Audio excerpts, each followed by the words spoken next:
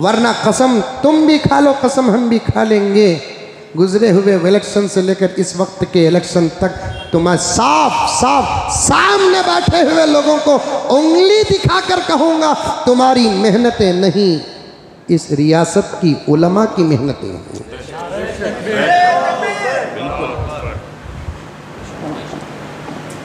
दस बजे उठकर झंडे पकड़कर बाहर निकलने वाले तुम चार बजे उठकर तहजद के बाद माँ बाप की मौत को छोड़कर किसी मुसलमान भाई की जीत की दुआ करने वाले हम। हम ना नहीं मालूम मस्जिद।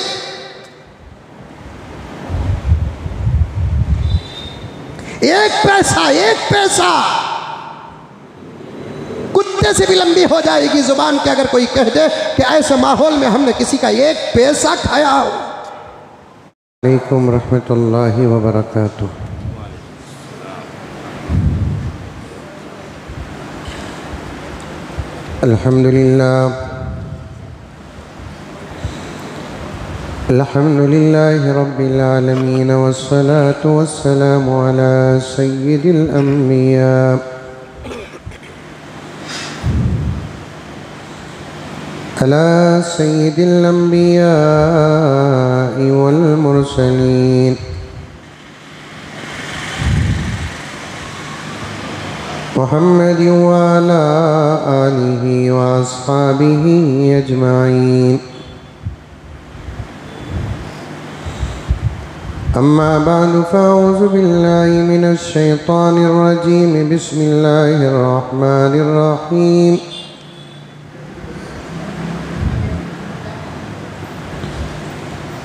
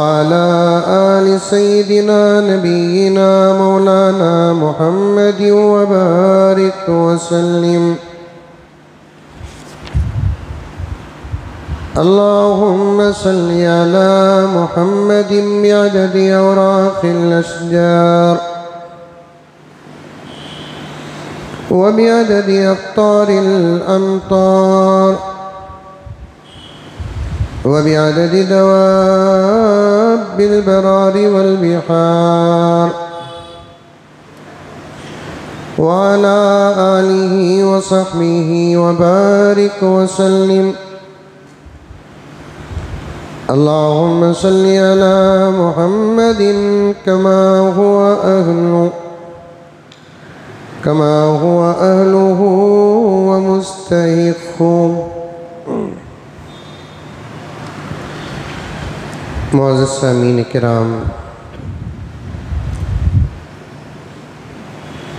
पूरी मोहब्बत के साथ शौक़ के साथ उल्फत के साथ प्यार के साथ अदब के साथ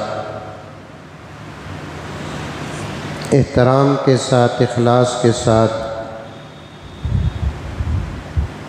दिल की गहराई से एक मरतबा दरोज शरीफ पढ़ लें।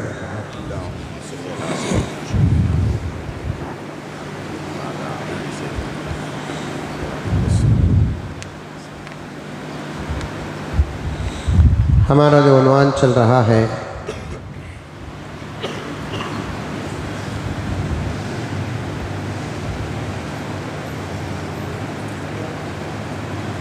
आने वाले इंतबात के नतीजे क्या होंगे?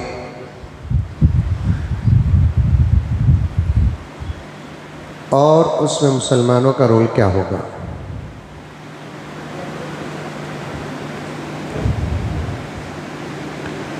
यही हमारा असल उनवान है।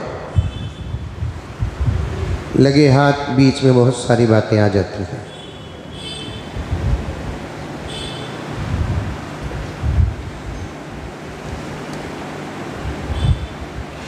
चार तारीख एक एक दिन बनकर करीब होता जा रहा है। खूब अल्लाह तबारक व ताली से दुआ करें। उम्मीद रखें और भरोसा करें। इन सुम इन हमारी सोच से भी बढ़कर बेहतरीन नतीजे निकलेंगे।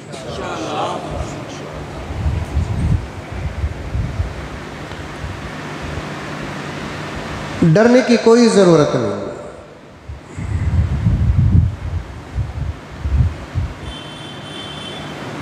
डरना तो सिर्फ़ और सिर्फ़ अल्लाह तबारक व ताला से है।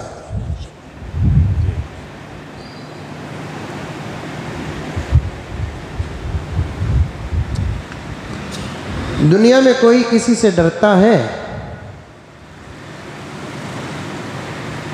महबूब साहब तवज्जो चाहता हूँ कि दुनिया में कोई किसी से डरता है तो कमज़ोर हो जाता है।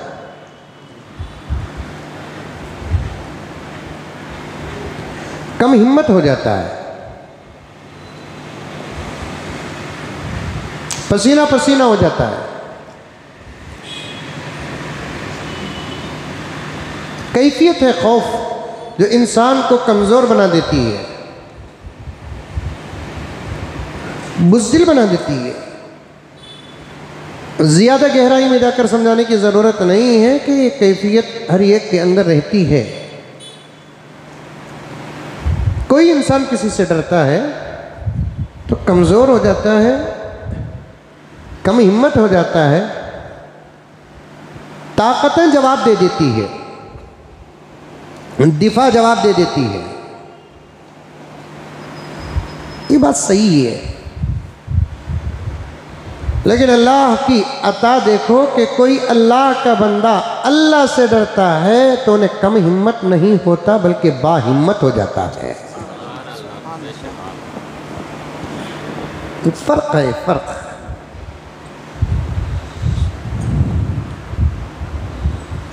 कोई बंदा किसी बंदे से डरता है तो डरने वाला जलील हो जाता है। सारी दुनिया उसे मज़ाक करती है, छेड़ती है, क्या रे, डर गा सो बोलती नहीं, बोलती। मरद बना रखो डरिया से तू। इसका साफ़ मतलब यह है, औरत ही डरती नहीं, ना ये मतलब है।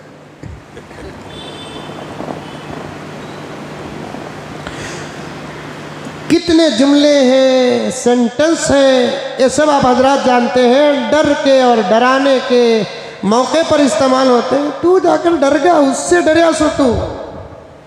दो देना नहीं।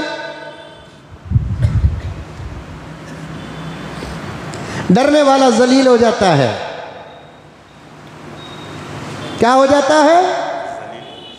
कोई बंदा किसी बंदे से डरे या मखलूक मखलूक से डरे तो जलील हो जाती है। मखलूक या बंदा या बंदी जलील हो जाते हैं। रब काबा की कसम, बंदा जब खुदा से डरता है, जलील नहीं होता, वली हो जाता है।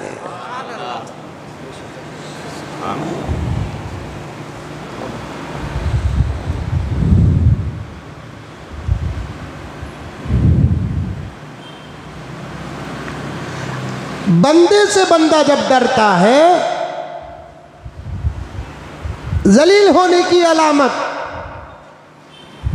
बंदा जब खुदा से डरता है, वली होने की अलामत।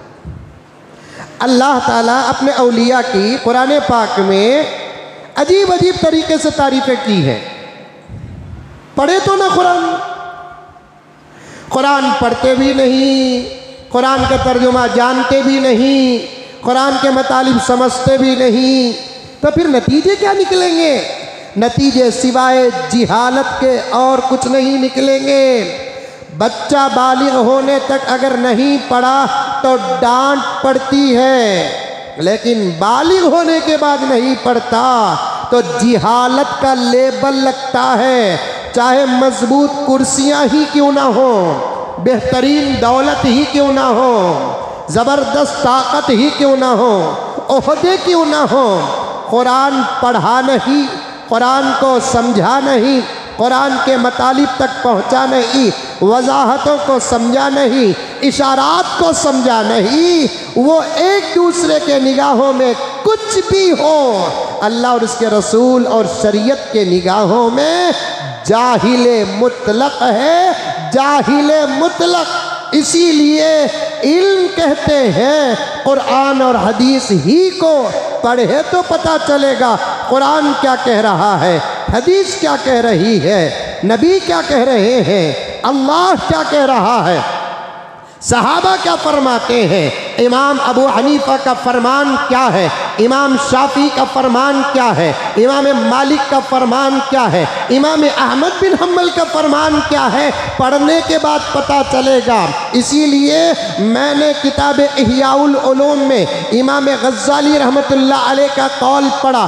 शरीयत के मुताबिक जिसकी अकल काम करती है, उसे कहते हैं अकल। शरीयत के ख़िलाफ़ जिसकी अकल काम करती है, उसे अक्लमंद नहीं कहते, जहीन कहा जा सकता है, क्योंकि अकल अल्लाह की नेमतों में से एक नेमत है। फ़की अबुल्ल समरखंदी अलैह फरमाते हैं, अकल इल्म से जुदा नहीं, इल्म अकल से जुदा नहीं जहाँ इल्म है, वहाँ अकल है। जहाँ अकल है, वहाँ इल्म है। ये दोनों के संगम से ये इंसान अल्लाह का सच्चा और पक्का बंदा बनता है। अगर ये दो चीज़ें ना हो, या दोनों में एक भी ना हो, वो किसी जानवर की शक्ल का इंसान है। कुत्ते की शक्ल का इंसान है सुवर की शक्ल का इंसान है, कोई और जानवर की शक्ल का इंसान है। मेरे प्यारों,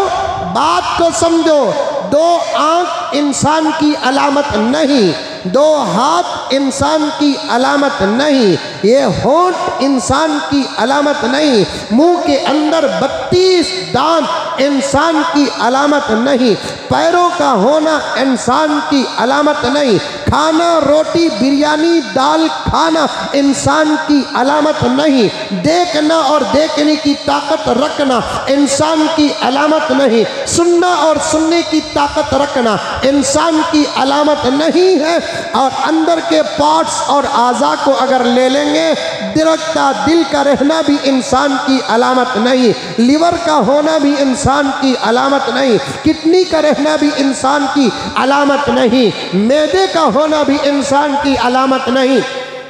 दौड़ते खून का होना इंसान की अलामत नहीं, पसीने का होना इंसान की अलामत नहीं। किसी माँ और बहन को बच्चा पैदा होने के बाद दूध का जारी होना इंसान की अलामत नहीं। ये तमाम चीज़ें मुश्तरक हैं। अल्लाह तबारक व ताली ने ये चीज़ें इंसान को भी दिया है, बाज़ मखलूक़ात में गैर इंसान को भी दिया है। हाँ अकल और जो इल्म है ना?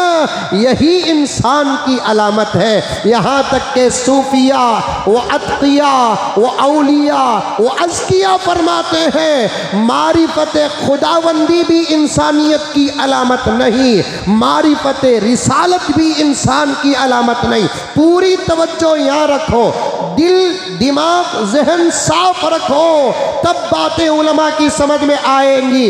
दिल पाक ना हो, उलमा का बयान तो दूर की बात के नबी का खिताब भी समझ में नहीं आएगा। दिल पाक ना हो, जहन पाक ना हो, मुजम्मिल का बयान, फुला और फुला का बयान, किसी गौस का बयान, किसी अब्दाल का बयान किनका बयान तो दूर की बात, दिल दिमाग ना हो तो अंबिया का खिताब भी समझ में नहीं आएगा। खुद मेरे आका, जिसकी अकल पर करोड़ों सलाम दरूद हो रब काबा की कसम, मुझे कहने दीजिए, बात लंबी हो जाए, कोई बात नहीं। हज़ार हिस्से अकल के अल्लाह बनाकर, जिस ज़ात अकदस को नौ सौ नब्बे पर नौ हिस्से मुकम्मल अता फरमाया बकिया एक हिस्से में अम्बिया को भी दाखिल किया, सहाबा को भी दाखिल किया, औलिया को भी दाखिल किया को दाखिल किया मुफसरी ने उम्मत मोहम्मदिया को दाखिल किया मुहदसी ने उम्मत मोहम्मदिया को दाखिल किया, फ़ुकहाए उम्मत मोहम्मदिया को दाखिल किया और दूसरी इंसानियत को भी दाखिल किया, मखलूक़ात को भी दाखिल किया। एक हिस्से में सबको तकसीम किया।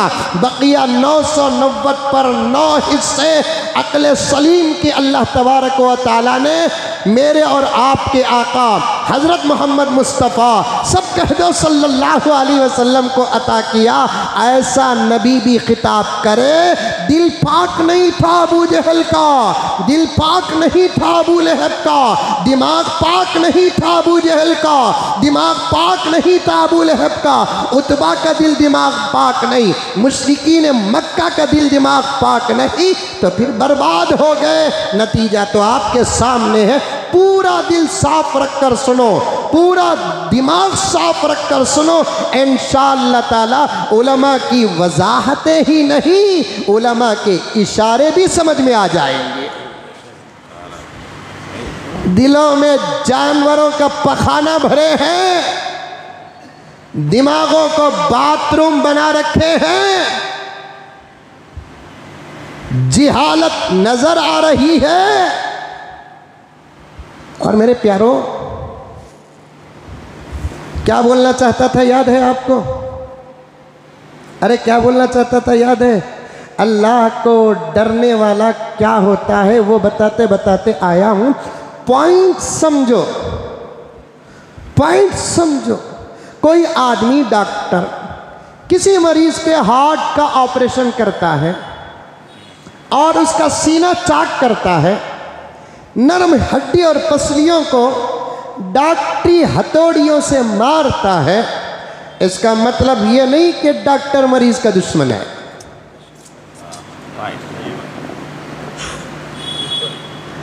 अब कुत्तों की तरह अगर भोगोगे कि डॉक्टर फुला और फुला है तो फिर डॉक्टर की डॉक्टरी पर कुछ भी असर नहीं होगा। कई सा हज़रत काटती कैसा हज़रत सलामत हड्डी को तोड़ तोड़ते कितना खून गया ना हज़रत, मैं क्या करूँ? काटना मकसूद नहीं। तोड़ना मकसूद नहीं। पॉइंट हार्ट है हार्ट। एक का इलाज करेंगे तो एक जख्मी हो सकता है। पॉइंट पर नज़र रखो पॉइंट पर पॉइंट पर। असल मसले पर नज़र रखो। क्या बात कही हज़रत अली ने? सब कह दो रज़ी अल्लाह क्योंकि जहाँ सल्लल्लाहु अलैहि वसल्लम भी दुआ है वहाँ रज़ी अल्लाह अनहु कहना भी दुआ है रहमतुल्लाहि अलैह कहना भी दुआ है। हम्म, हम्म।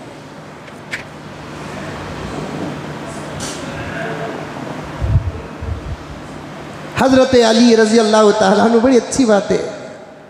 ज़माना, हालात, हमें दूसरी तरफ़ आने नहीं देते।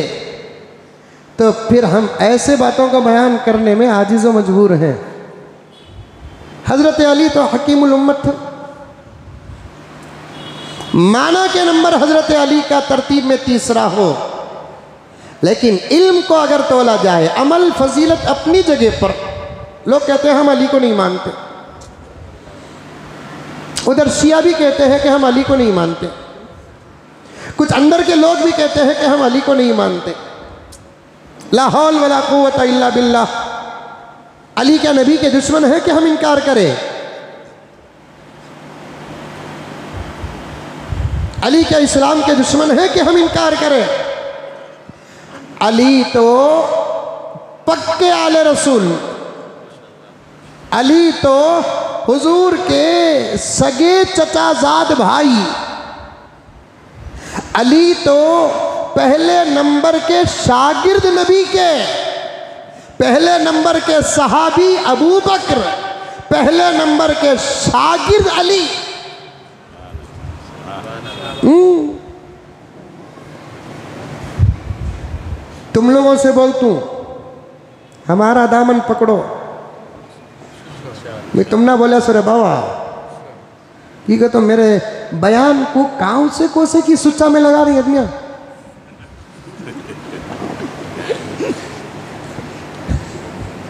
वायरिंग बराबर भी रही तो सुच्चा में लगाए तो उजाला आता। वायरिंग खराब है, बेकार के सुच्चा में मेरा बयान लगाए तो कुछ मेरा बिगड़ने वाला नहीं है डोंट केयर ऐसे कितने की ढोला को झटक को उड़ा दिया। बिल्कुल सही बात।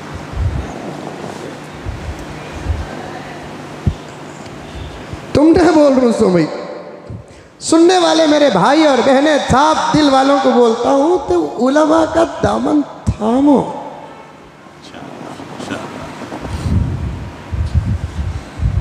या तो डायरेक्ट पढ़ो, हज़रत बखारी का वाक़िया आने वाला था ना, वो सब है मेरे जहन में है, पूरा है।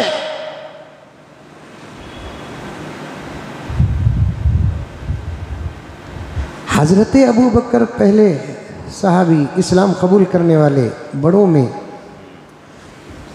पूरों में दूसरे नंबर के, बच्चों में हज़रत अली, लेकिन शागिर्दियत में हज़रत अली का नंबर पहला है।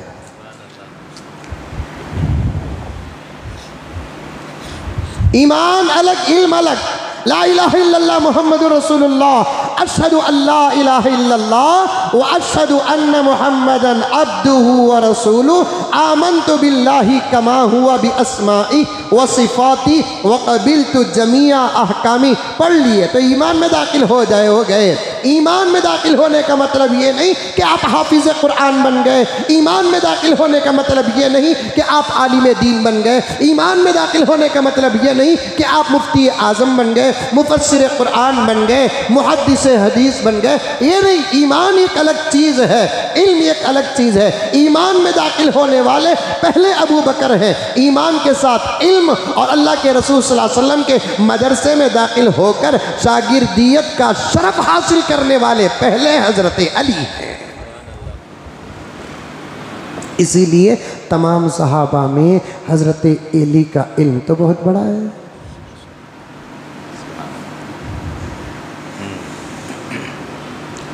तमाम सहाबा में हज़रत अली का इल्म बहुत बड़ा है, बहुत ज़्यादा।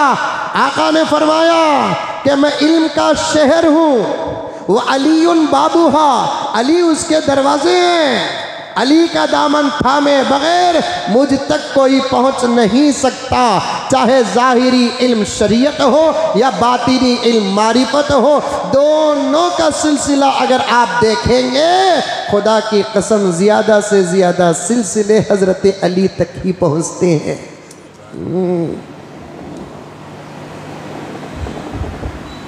हकीमुल उम्मत थे हज़रत अली।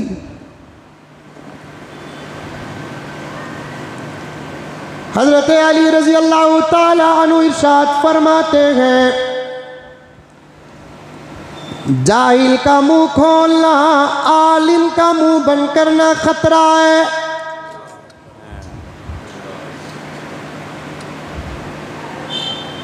फिर से सुन लो प्यारो, जाहिल का मुँह खोलना, आलिम का मुँह बंद करना खतरा है। आलिम का मुँह खुलना, जाहिल का मुँह बंद होना हिदायत है। वो आलिम से खतरा होगा जिसका मुँह बंद होता है। वो आलिम से हिदायत के चश्मे फूटेंगे जिसका मुँह खुलता है। वो जाहिल का मुँह जब खुलता है, खतरे ही खतरे होंगे। जाहिल के लिए बेहतर यही है, अपनी दौलत की इज़्ज़त, अपनी कुर्सी की इज़्ज़त, अपनी ताकत की इज़्ज़त, अपने ख़ानदान की इज़्ज़त, अपनी माँ की इज़्ज़त, अपने बाप की इज़्ज़त, अपने ख़ानदान की इज़्ज़त, जोरू के सामने अपनी इज़्ज़त बचाने के लिए, बच्चों के सामने अपनी इज़्ज़त बचाने के लिए भाई बहनों के बीच में अपनी इज़्ज़त बचाने के लिए, जाहिल के लिए हज़रत अली का यही पैगाम है, ज़ुबान बंद कर ले, कम से कम बीवी के सामने तो इज़्ज़त मिल जाएगी भाई बहनों के सामने तो इज़्ज़त मिल जाएगी, बच्चों के सामने तो इज़्ज़त मिल जाएगी। दोस्तों, एक है बाहर जलील होना, एक है अंदर जलील होना, एक है बाहर जलील होना, एक है अंदर जलील होना। दोनों पर गौर कर कर रखो, कोई इंसान ऐसा भी है, बाहर जलील हो जाए तो हो जाए, लेकिन अंदर जलील होना उसे पसंद नहीं। मैंने ऐसे कई जुमले सुना, मैं गिरना नहीं चाहता हज़रत हमारे अम्मा के निगाहों से, मैं गिरना नहीं चाहता हज़रत अब्बा के निगाहों से। मैं गिरना नहीं चाहता हज़रत, हमारी बीवी के निगाहों, बच्चों के निगाहों में गिरना नहीं चाहता हज़रत। ऐसे भी अज़ीज़ और इज़्ज़त के चहीतों को मैंने देखा, बीड़ी पीने वाले तरसते बैठे हैं।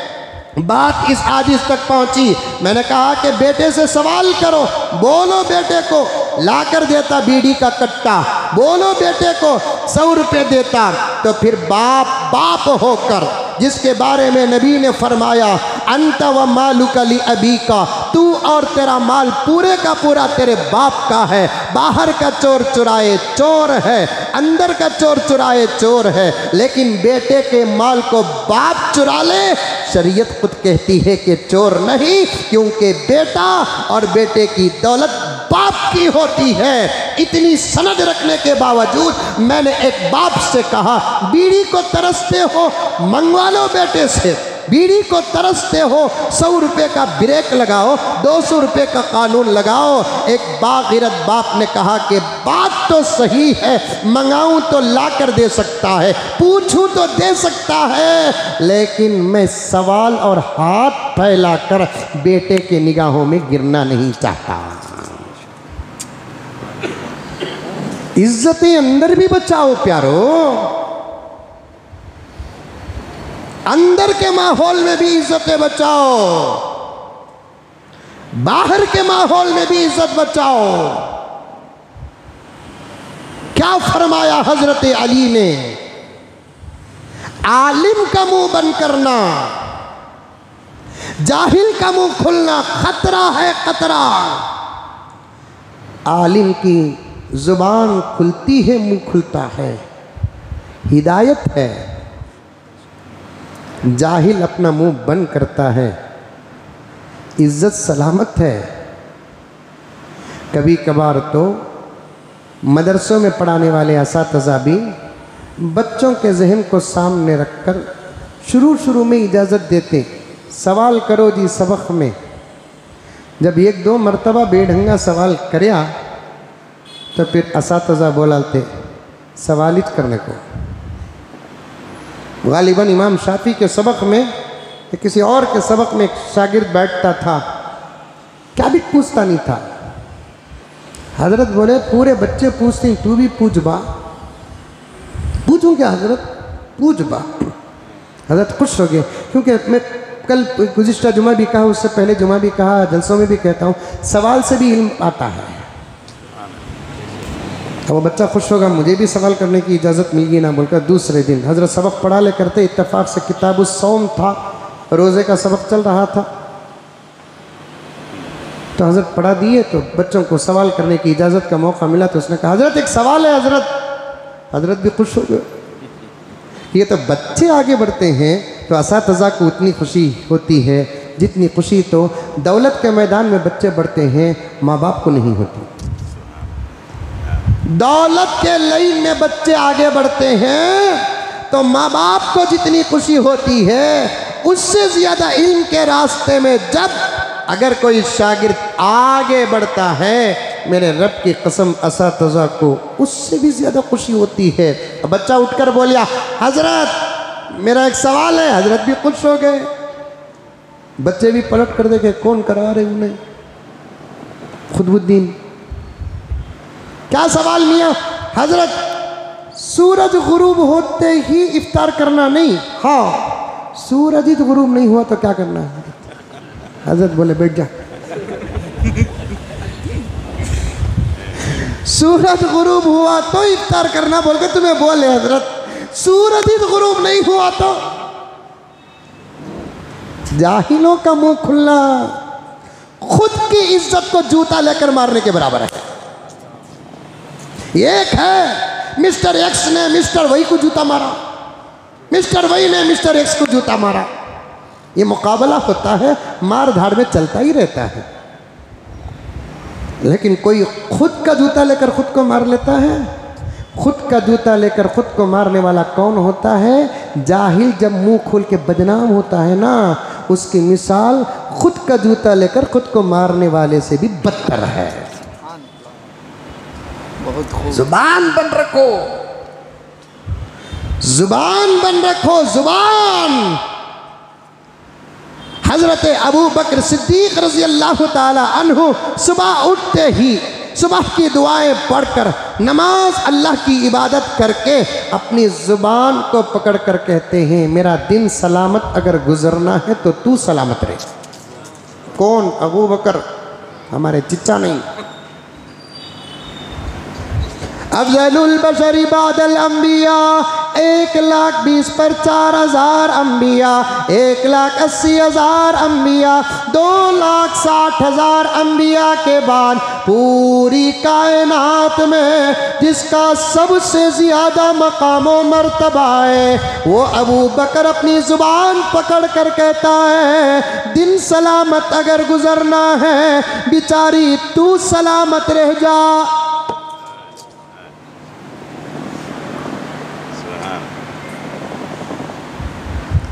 खामोश रहे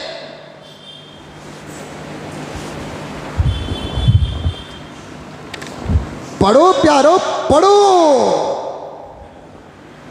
जिसम में जितने पार्ट्स हैं, उन तमाम पार्ट्सों में एक ज़ुबान को छोड़कर एक पार्ट से सिर्फ़ एक या दो ही गुना हो सकते हैं। ज़ुबान एक ऐसी चीज़ है, पार्ट्स और अजू है, जिससे एक नहीं, दसियों गुना होते हैं।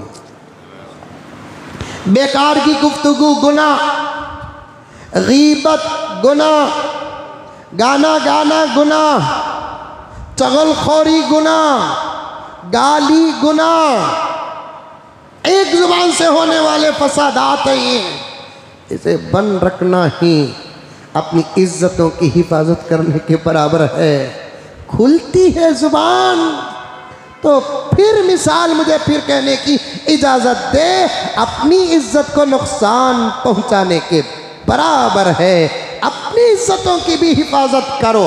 हाँ हाँ प्यारो, इज़्ज़त बहुत बड़ी दौलत होती है। ज़ुबान का बन रखना बहुत बड़ी बात है, बहुत बड़ी बात है। जिहालत आदमी की, एक आदमी पड़ाच नहीं।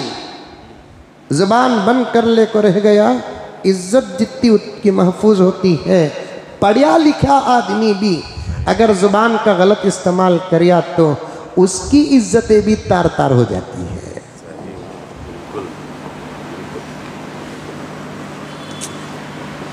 अब आप मुझसे कह सकते हैं, मौलाना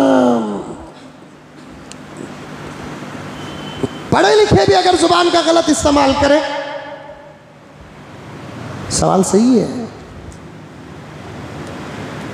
पढ़े लिखे भी अगर ज़ुबान का गलत इस्तेमाल करें, ज़ुबान के सही और गलत होने का सबूत दलीलों पर होता है। मैं अगर कोई बात कहा और ज़ुबान का लहजा वो सख्त हो,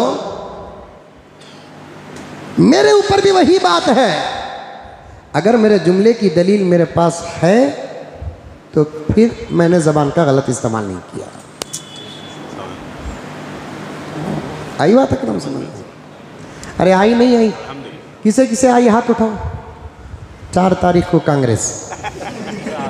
अरे सब मस्जिद में हाथ उठाना। अरे तोबा तोबा। क्या भाई मिम्बर में कांग्रेस के बातें चल रही? गलती होगी माफ़ कर लियो। साफ़ बात हम मिम्बर में कर सकते। पॉलिटिक्स के बात हम मिम्बर में कर सकते। इनको जिताओ बोलकर बोल सकते। उनको हराओ बोलकर बोल सकते। इनको डालो। डालो को तो वो नहीं। वोट। ये बात हम मिम्बर में कर सकते हैं। हया की बात मिम्बर में नहीं कर सकते, शराब की बात मिम्बर में नहीं कर सकते, झूठ की बात मिम्बर में नहीं कर सकते, जिना की बात मिम्बर में नहीं कर जाहिल। कभी नबी के मिम्बर के असबाब पढ़, पता चलेगा नबी ने शरीयत का हक जहाँ बाहर निकलकर अदा किया, वहाँ मिंबर में खड़कर भी तो अदा किया। अगर मेरे जुमले पे भरोसा नहीं तो दारुल उलूम देवबंद सलामत है। पूछ सवाल, मंगा जवाब। कई कुरान पाक की आयतों को तिलावत करके नबी ने सहाबा के सामने बताया इसी मिंबर में बैठकर। हलाल और हराम के फैसले सुनाए इसी मिंबर में बैठकर। जायज़ और नाजायज के अहकाम बताए इसी मिंबर में बैठकर, इसी मस्जिद में बैठकर। मैं तो माफ़ी चाहता हूँ, आपका नाम लेता हूँ, तुम्हें मेरे दोस्त हैं। समझ में आई बात है? अच्छा हुआ कि ऐसे लोग हुजूर के ज़माने में पैदा नहीं हुए, वरना अबू जहल को ओवरटेक कर देते। कहीं ना कहीं अल्लाह का रहम ऐसे लोगों पर है। पता नहीं कि उनके बाप दादाओं ने क्या नेक काम किया कि उसका बदला इनको मिल रहा है।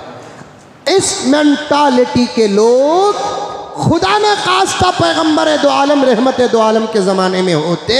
ये अम्बिया के दौर में होते। ये अम्बिया के मुआफ़िकीन नहीं होते, मुखालिफिन होते। नहीं पहचानते मस्जिद और मस्जिद के मकसद को, मदरसा और मदरसे के मकसद को, इबादत गाहें और इबादत गाहों के मकासद को नहीं समझते और लगा देते हैं फतवा। पाँच मरतबा मस्जिदों में घुसकर हम ना मस्जिद मालूम नहीं, तुम ना मालूम।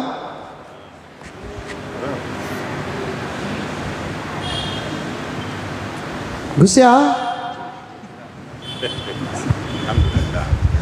वो भी सफ़ा में खड़कर नहीं, मुसल्ले में खड़कर हम ना मस्जिद समझ में नहीं आई।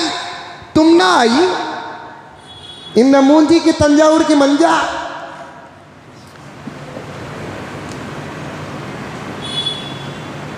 सियासी मैदान में ऐसे लोगों को अल्लाह ताला दूर तक पहुँचाए। हमारी भी यही चाहत है कि हमारे भाई जाए, क्योंकि हम मस्जिद छोड़कर पार्लियामेंट जाना नहीं चाहते, मस्जिद छोड़कर असम्बली जाना नहीं चाहते, कारपोरेशन जाना नहीं चाहते।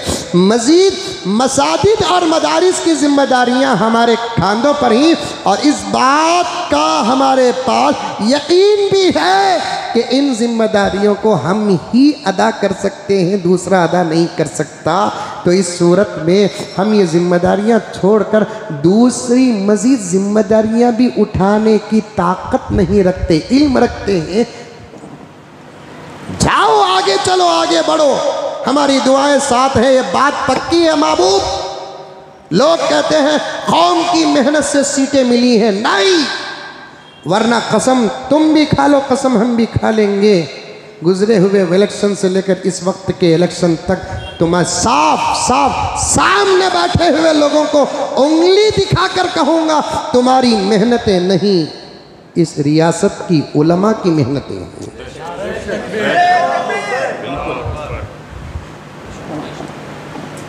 दस बजे उठकर झंडे पकड़कर बाहर निकलने वाले तुम चार बजे उठकर तहज्जुद के बाद माँ बाप की मौत को छोड़कर किसी मुसलमान भाई की जीत की दुआ करने वाले हम।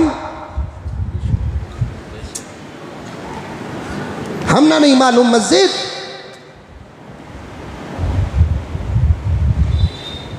एक पैसा एक पैसा। कुत्ते से भी लंबी हो जाएगी ज़ुबान के अगर कोई कह दे कि ऐसे माहौल में हमने किसी का एक पैसा खाया हो।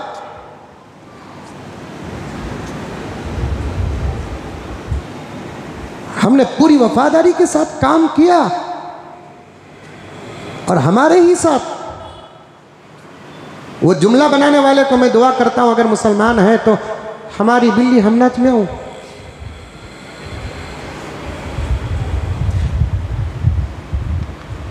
हमारे इन आँखों को संभाल कर रखो। तुम्हारी तकलीफ़ से हमारे इन आँखों से आँसू अगर गिर जाए, नस्लें बेमौत मर जाएगी। गुनाह करके माफ़ी नहीं मांगते, हक बोलकर माफ़ी मांगना हम।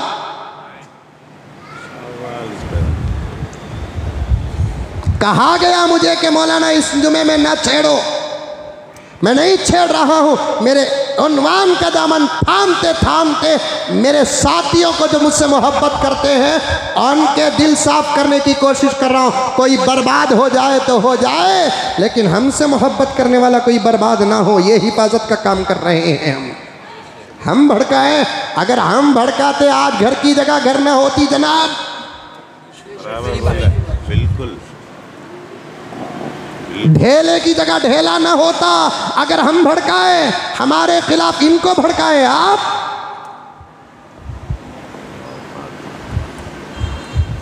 फिर दरगाहों के दरवाजे तलाश करने के अलावा रास्ता ना होता अगर हम भड़काते।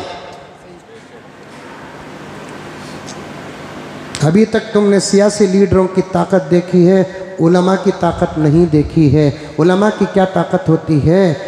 खुदा वहदहुल्ला शरीक की कसम के हज़रत शाह बहलूल से पूछो, जिनकी ताकत के सामने औरंगज़ेब के पसीने छूट गए।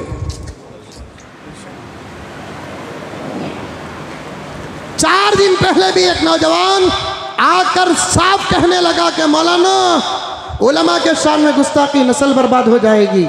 मैंने साफ़ का वापस ले।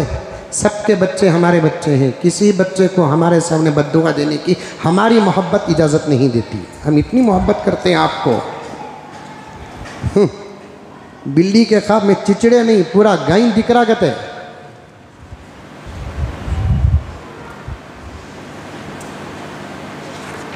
औरंगज़ेब रहमतुल्लाह अलैह के बेटे सोने के कड़े पहनते थे।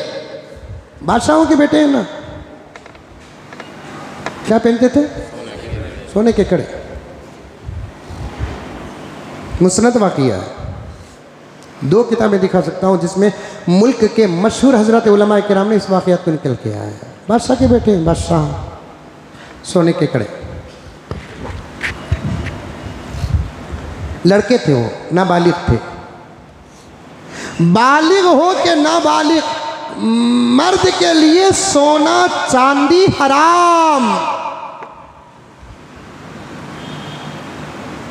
हराम को हराम बोलेंगे। नहीं बोले तो निकाला क्यों कहते मस्जिद वाले।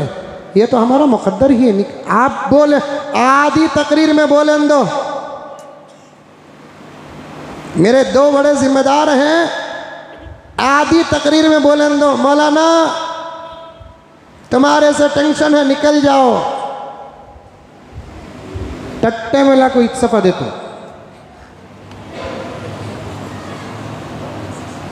हम्म, की कथो पूरे कर्नाटक में एक ही मस्जिद नहीं है। दस हज़ार मस्जिद आई हैं। लेकिन असम्बली हम्म, तुम्हें निकल गए तो जाएँगे कहाँ? कब्रस्तानी बेंगलुरु में कारपोरेशन कितने ही हैं? दूसरा कारपोरेशन तुम्हारे मुखदर को नहीं, हज़ारों मस्जिद हमारा इंतज़ार कर रही है। नहीं भी रहा कोई बात नहीं। छोटे बच्चों को बिठा कर नूरानी कायदा पढ़ाऊँगा, नजात हो जाएगी इन ताला। ये सब लाली पापा हमना नहीं देना साहब।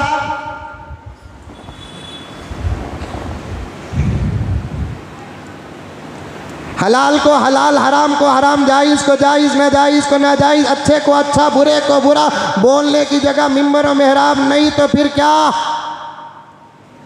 और भी जुमले मेरे पास ही। लेकिन बोलता नहीं मैं। मैं टेंशन में मैं आता नहीं, अल्हम्दुलिल्लाह। हज़रत, बहुत चल रहा है तुम्हारे बारे में, तुम्हें किसी भी साथ ले लगो, फिरो हज़रत। अरे क्या रे बाबा। तुम्हारे बारे में बहुत चल रहा है, किसी भी साथ ले ले को फिरो। रात को भी मद्रास से निकल को हुसूर में उतर को फजर की नमाज़ के लिए पौना घंटा बस स्टैंड में खड़ जाको, खामोश निकल को बस में आया मैं। हम्म।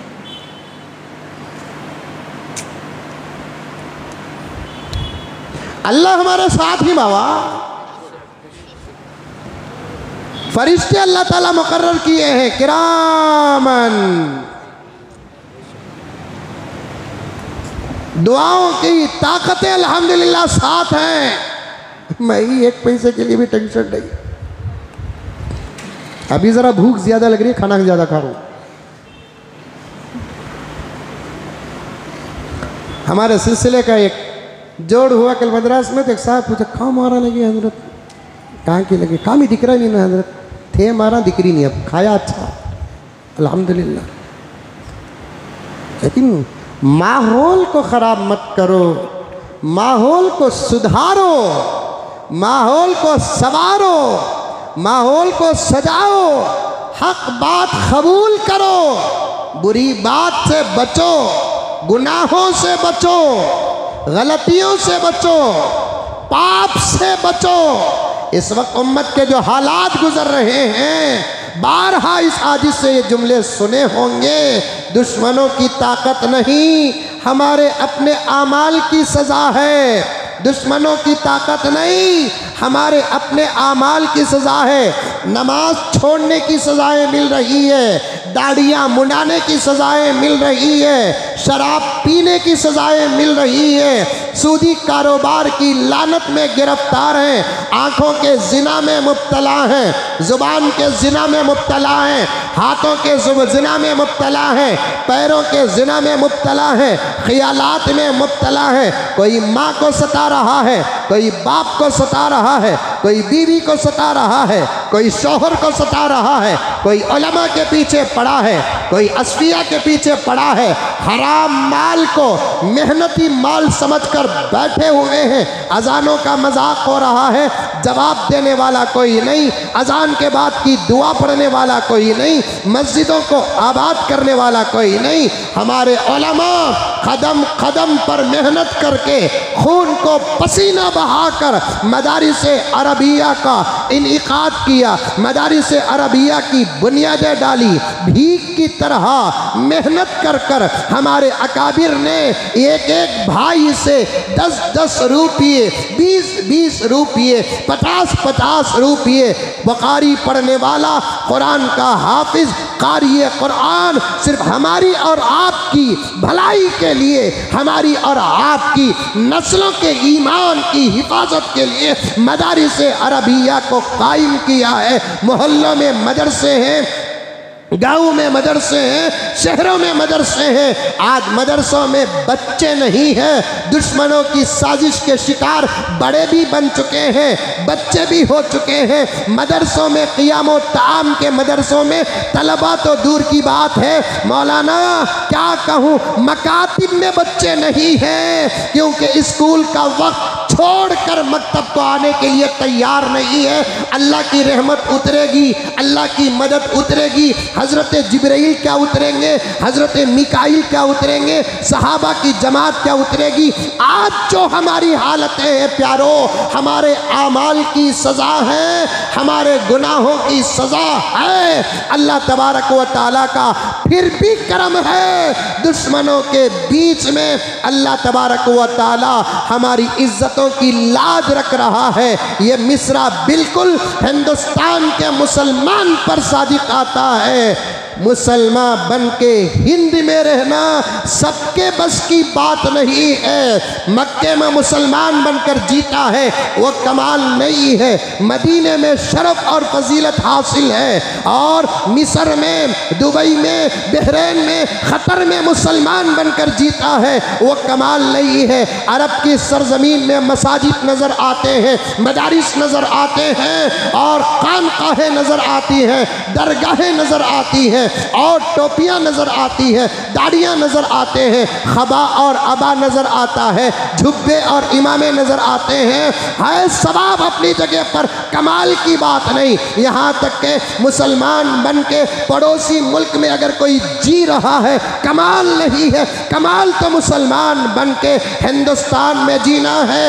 एक तरफ़ ये आवाज़ें, दूसरी तरफ़ वो आवाज़ें। कभी कुरान पर हमले हो रहे कभी मस्जिदों पे हमले हो रहे रहे, कभी मदरसों पे हमले हो रहे, कभी बुरकों पे हमले हो रहे, कभी हिजाब पर हमले हो रहे, कभी निकाब पर हमले हो रहे। हमारा 18 उन्नीस साल का बच्चा अपनी डिग्री हासिल करने के लिए किसी गैर मुस्लिम के कॉलेज पर जाता है। नंबर वन, फ़र्स्ट रैंक लेकर जाता है। दाढ़ी पर हमले किए जा रहे हैं। अल्लाह अकबर कबीरा, टोपी पर हमले किए जा रहे हैं। हमारी माँ और बहनों को नॉर्मल डिलीवरी के चांसेस के बावजूद ऑपरेशन करके उनके बच्चों को रोकने का इंतज़ाम किया जाता है। ऐसे दौर में अल्लाह का करम अब भी अल्लाह हमारे साथ है। अगर हम गुनाहों से माफ़ी अल्लाह से मांग लेंगे, उलमा का अदब और एहतराम करेंगे, मस्जिदों को आबाद करेंगे, मदरसों को आबाद करेंगे, भरोसा अल्लाह पर रखेंगे, तवक्कुल अल्लाह पर करेंगे अल्लाह की इबादतों का हक अदा करेंगे, नबी की सुन्नतों को ज़िंदा करेंगे इन ताला हया के माहौल में रहेंगे। रब काबा की कसम, हम नहीं हमारे दुश्मन जिब्रही को देखेंगे, हम नहीं हमारे दुश्मन मिकाई को देखेंगे, मलाइका को देखेंगे। इन ताला नतीजे उनके नहीं, नतीजे हमारे होंगे।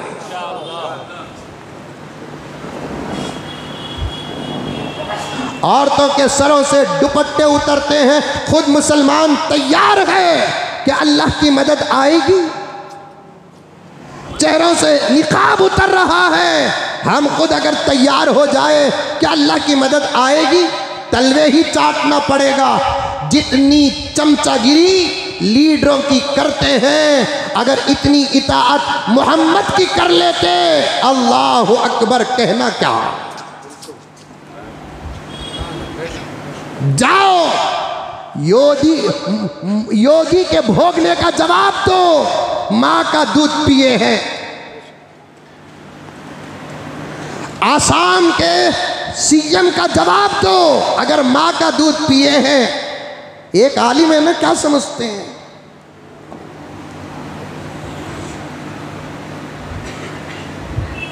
आसाम का वज़ीर आला बीजेपी का रहनुमा। बसवा शर्मा।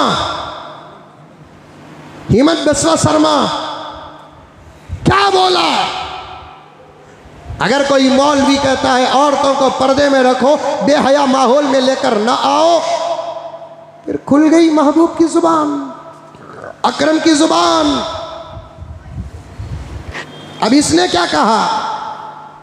अब कहेंगे ना जहन फिरौन की यहाँ दिखाएँगे, हमारी रियासत का क्या हज़रत? अरे मुल्क हमारा है। कानून जब बनता है, रियासतों में नहीं। देखिए, कितने रकीक हमले किए। कहता है, मुल्लाओं को पैदा करने वाली दुकान और चार शादियों का धंधा। ये लफ्ज़ चार शादियाँ निकाह है कि धंधा है? सबके मुँह से निकलनी चाहिए। चार शादियाँ धंधा है कि निकाह है? धंधे कहाँ हो रहे हैं? रेड एरियाज़ में हो रहे हैं। रेड एरियाज़ कहाँ नहीं है मुल्क के अंदर? दिल्ली चले जाओ, मैं बताना नहीं चाहता। धंधे जहाँ होते हैं, वहाँ लाइसेंस देती है हुकूमत। निकाह करके साथ जो देने का निज़ाम है, उसे धंधा कहते हैं। वहाँ गुस्सा दिखाओ जनाब। एक का बयान इसके जवाब में नहीं आया। एक का बयान नहीं आया। शादियाँ करते, कर रहे नहीं कर रहे बात की बात रखो। शादी कर रहे पूरे मुल्क के अंदर 25-30 करोड़ मुसलमानों में हज़ार दो हज़ार या दस हज़ार, पंद्रह हज़ार तो दो शादी किए होंगे, तीन शादी किए होंगे। परसेंटेज माइनस में चल रहा है। अपनी जगह पर जो किए हैं, उनको ये कहता है फिर चार शादियों का धंधा बन कर देंगे। शादियाँ करना धंधा है, इज़्ज़त देने के बराबर है। शादियाँ करना इज़्ज़त देने के बराबर है। शादियाँ करना सहारा देने के बराबर है। शादियाँ करना ज़िम्मेदारी लेने के बराबर है। सच कहता हूँ, मेरे प्यारों, मेरी माए और बहनें, हाथ जोड़ता हूँ, लेकिन मसले और कुरान की हकीकत को समझे, महँगाई है। और नौजवानों में इंसाफ करने की ताकत और मलका नहीं है, इसलिए हुक्म रुका हुआ है। तुम अपने अंदर इंसाफ करने का मलका पहले पैदा करो, इंसाफ करने की ताकत पहले पैदा करो, इंसाफ करने की हिम्मत पहले करो। सहाबा का मिजाज अपने अंदर लेकर आओ, जो दो दो चार चार शादियाँ किए हैं, ऐसे अलिया की ताकतें लेकर आओ, और उसके बाद दूसरा रुख भी देखो। इस बीवी का हक अदा करेंगे जिस्मानी तौर पर। उस बीवी का भी हक अदा करना जिस्मानी तौर पर। इस बीवी का हक अदा करोगे माली तौर पर। इस बीवी का भी हक अदा करोगे माली तौर पर। इसके बच्चों को भी बराबर देखने की ताकत अगर है, उसके बच्चों को भी बराबर देखने की ताकत है, ऐसी सूरत में तो फिर मेरे दोस्तों, दूसरी शादी न करना एक हैसियत से गुना हो सकता है, लेकिन ऐसा माहौल हमारे मुल्क में है कहाँ? कौन सा ऐसा मुसलमान है जो इंसाफ का मलका अपने अंदर रखता है? इंसाफ की ताकत अपने अंदर रखता है। इंसाफ करने का इल्म अपने अंदर रखता है। और आगे बढ़ो कि इस महँगाई के दौर में दूसरी शादी का तस्वुर कहाँ पैदा होता है? तीसरी शादी का सवाल कहाँ पैदा होता है? चौथी शादी का सवाल कैसे पैदा हो सकता है? अल्लाह अकबर एक कोथिमीर का कट्टा तीस रुपए बिक रहा है और टमाटो की कीमत फिर से आगे बढ़ रही है। प्याज की कीमत फिर से आगे बढ़ रही है। चावल की क्या कीमत है? अल्लाह अकबर। सब्जियों की क्या कीमत है? अल्लाह अकबर। नॉन वेज को छोड़ो, ये तो हमारी अपनी बात है। नॉन वेज का सवाल आ गया तो हम कुर्बान होकर भी खाएँगे। नॉन वेज तो हमारा मसला है। इसकी कीमत अब अगर बाज़ार में तीन सौ रुपये किलो है, तीन हज़ार भी हो जाए, हम खाना नहीं छोड़ेंगे। बोलो इंशाल्लाह। पैसे कहाँ से आते हैं? अगर नीयत करो, फैसले अल्लाह करते हैं। नॉन वेज का मसला छोड़ो, वेज ही का सवाल ले लो। इस महँगाई के दौर में कौन दूसरी शादी का सवाल करेगा, प्यारे? तीसरी शादी का ख्याल करेगा मेरे प्यारे। ऐसे दौर में आसाम का वज़ीर आला, कितनी बड़ी गुस्ताखी की हमारी बहनों के साथ, हमारी बहनों के साथ। निकाह करके बीवी बनकर जाने वाली के साथ ये मज़ाक नहीं। निकाह करके बीवी बनकर जाने वाली के साथ ये मज़ाक नहीं। हिम्मत है, जवाब दो। हम पहले भी जवाब देते थे, अब भी जवाब देंगे। आइंदा भी इंशाल्लाह जवाब देंगे। चार शादियों को धंधा बनाकर रखा है। हम तो हम तो इसको साफ़ साफ़ कहते हैं, शादी करके बीवी बनाना हमको आता है। पैसे देकर बिस्तर गर्म करने वालों को शादियों की अहमियत क्या मालूम?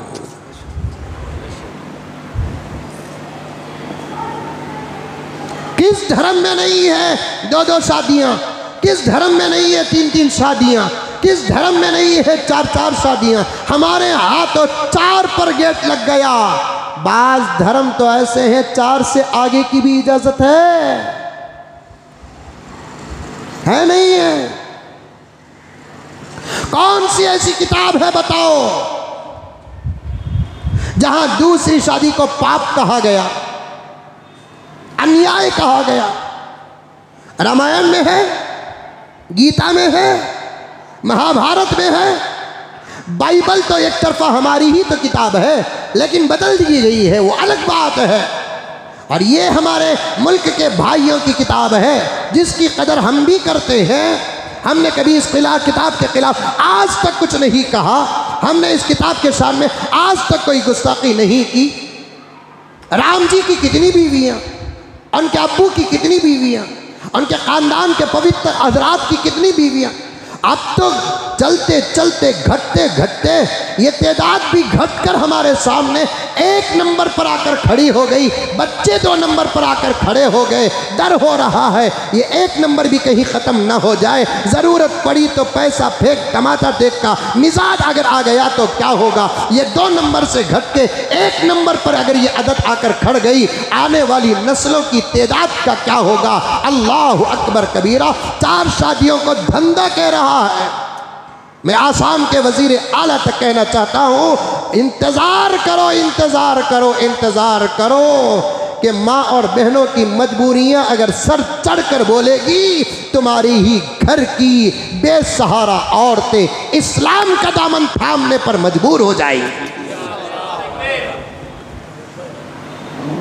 चार शादियों का फरमान अल्लाह का, कोई ऐसा वैसा फरमान नहीं है। प्यारे आका ने क्या फरमाया? जगत गुरु ने क्या फरमाया? प्रॉफिट मोहम्मद ने क्या फरमाया? क़यामत के करीब औरतों की तादाद ज़्यादा हो जाएगी, मर्दों की तादाद कम हो जाएगी। अब लेवल हो, एक पर बस करो।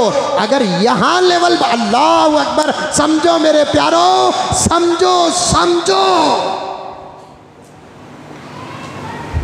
उलमा के बागी न बनो, उलमा के दुश्मन न बनो। ऐसी गहरी बातें सिवाय हज़रत ओलमा के खुदा की कसम कोई नहीं बता, बना, बता सकता है। मौलाना तवज्जो चाहता हूँ, मौलाना तवज्जो चाहता हूँ। यहाँ बैठे मौलाना, आपसे भी गुजारिश है, सनद याफ्ता आलिम है, आपसे भी गुजारिश है, तवज्जो चाहता हूँ। कितने उलमा वहाँ भी बैठे, वहाँ भी बैठे, तवज्जो चाहता हूँ, पॉइंट बताता हूँ। अल्लाह अकबर कबीरा, प्यारे आका ने क्या फरमाया? क़यामत के करीब औरतों की तादाद ज़्यादा हो जाएगी और मर्दों की तादाद बोलो ज़रा सुन रही बोलकर मुझे मालूम होना। औरतों की तादाद, मर्दों की तादाद, ऐसा भी हो सकता था ना, मर्दों की तादाद ज़्यादा, औरतों की तादाद कम हो सकता था ना। ऐसा क्यों होगा कि मर्दों की तादाद कम, औरतों की तादाद ज़्यादा? अगर मर्दों की तादाद कम, औरतों की तादाद ज़्यादा हो तो चार तीन शादियाँ करने में कोई बेहयाई नहीं है। अगर मर्दों की तादाद ज़्यादा हो गई, औरतों की तादाद कम हो गई तो फिर क्या होगा? दो दो तीन तीन मर्द मिलकर एक एक औरत से शादी करना पड़ेगा। खियामत खियामत रहकर भी अल्लाह रब्बुल इज़्ज़त औरतों की हया का ख्याल रखा है और हम हमारे तुम्हारी जगहों में ख्याल नहीं रखते। समझ में आया? नहीं का तो बोलो, समझा तू। हमें पढ़ने पढ़ाने वाले, बमड़िया मारने वाले नहीं। पॉइंट नोट हमें पढ़ने पढ़ाने वाले, समझ में आई बात है? हमने अल्हम्दुलिल्लाह सुबह अल्हम्दुलिल्लाह बड़ी बड़ी किताबों को पढ़ाया है। अल्लाह का फजल है, मेरे इस की जूतियों का सदका है।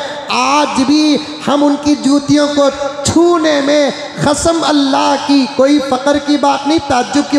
हमें सौ साल के हो गए और हमारे हज़रत को सवा सौ साल की उम्र है, तब भी उस उम्र में भी हम अपने इस की जूतियाँ उठाएँगे। क्योंकि जो कुछ मिला, अल्लाह और अनवी की नेमतें, वो इन्हीं इस के दरवाज़ों से हमको मिला है। समझो, सम, समझाना हमको आता है। समझ में आई बात? कि क़यामत के करीब औरतों की तादाद ज़्यादा हो जाए मर्दों की तादाद कम हो जाएगी। रिवायत में इसकी तशरीहत बड़ी गहरी आती है। मैं उन तमाम तशरीहत पर जाना नहीं चाहता। वक्त का तकाजा भी। औरतों की तादाद ज़्यादा, मर्दों की तादाद कम। मर्द कम हो, औरतें ज़्यादा हो। मिसाल के तौर पर बारह औरतें हों। चार ही चार मर्द बने रहे। मिसाल समझा रहा हूँ चार ही चार मर्द बने। बारह औरतें रहे। शादी का मसला आ गया। अब ये बारह औरतें यहाँ ही ना, चार ही औरत ही ना। क्या करना? टेंशन नहीं। निकाह के नाम पर तकसीम कर लो। निकाह के नाम पर तकसीम कर लो। चार जने तीन तीन तीन तीन शादियाँ कर लो। हाँ तुम्हें मंजे पूछो ना वो दौर कब आता हज़रत क्या करो एक सौ साल के बाद आता, मिसाल, दुआ करो, हज़रत अल्लाह हमारी उम्र में बरकत दे। वाह वाह वाह वाह ये हसाना भी हमारे ऊपर रिमार्क है।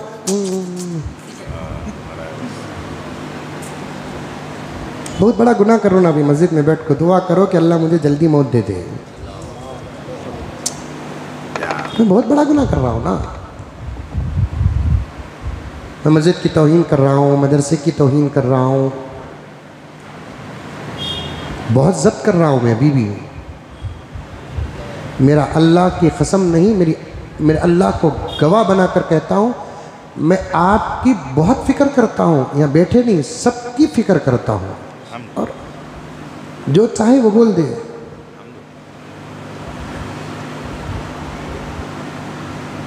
मैं आप का दिल खुश करने के लिए ये बातें बोलता हूँ। इल्ज़ाम है मेरे ऊपर। क्या दिए? क्या दिए आप? इतनी बड़ी मजलिस बैठी हुई है। मेरा रिश्ते का भोनी एक बैठा हुआ वो मेरे उसके ताल्लुकात हैं। इसके अलावा कौन क्या दिया बताओ? दिल बड़ा करके दो चार लाख रुपए की गाड़ी लेने की हिम्मत नहीं है मुझे। क्योंकि मेरे मातहत उतनी जिम्मेदारियाँ हैं।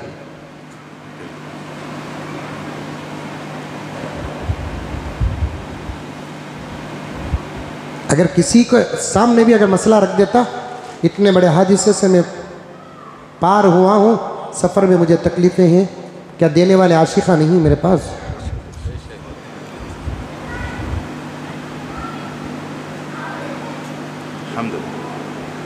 बताइए। जलसे को बुलाने वाले फ़्लाइट सामने पेश करते हैं तो डेढ़ हज़ार रुपये की टिकट देखो, बस में जाने वाला मैं अकेले मौलवी हूँ। पैकेज? पैकेज? अफसोस है तुम्हारे वजूद पर के बोलने की भी ज़रूरत नहीं कि कभी तुम दस्तरखान में बैठ कर सोच लो कि तुम्हारा दस्तरखान कैसा है। तुम्हें शर्म आएगी। मैं मेरे दस्तरखान में बैठूँगा तो अल्लाह का शुक्र पैदा होगा। इतनी तो गारंटी मैं देता हूँ इन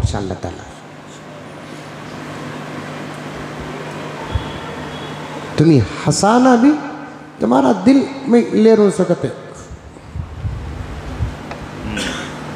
तुम्हें उसको पूछना कहते, तुम्हारे माँ भाना के सामने में गुस्ताखी करा बोल तुम्हारे माँ और बहनों को बुरखा पिनाने की बात नहीं करे तो मैं गुनेगार हिजाबा उतार को चाकलेटा बांटे तो उन्होंने अच्छे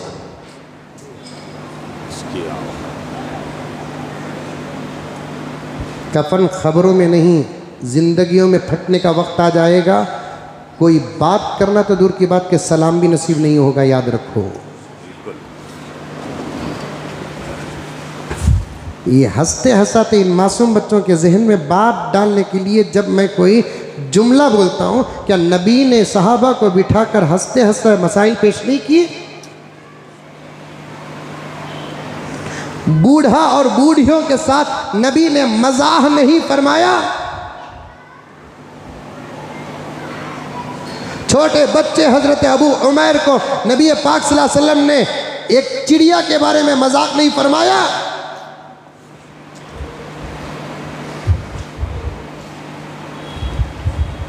हमें पैकेज वाले मौली साहब, घर भी है तो विरासत का सदका है वो। मेरी अपनी दौलत नहीं। मैं तुम्हारा जहन साफ़ कर रहा हूँ, सर। विरासत है मेरी। मेरे माँ बाप की, गाँव की प्रॉपर्टी का बदला है वो। मेरी अपनी पूरी दौलत नहीं है वो। वैगनर तो फैचुनर से भी ज़्यादा कीमती है ना। बहुत कीमती है। आपको कभी नहीं बिठाऊँगा उस गाड़ी में, क्योंकि मेरी गाड़ी की इज़्ज़त चली जाएगी। हज़रत वाचा बदलती ना तुम्हें? गए तो तोहफा देते सो तक। वो भी बांट देता हूँ। पैकेज